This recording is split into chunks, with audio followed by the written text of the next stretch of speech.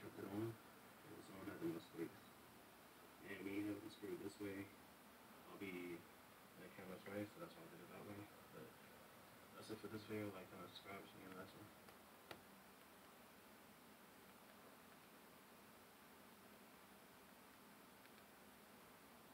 If you have a Nissan with a P0101 mass airflow sensor code, do not replace the mass airflow sensor. Now, if you take this to AutoZone or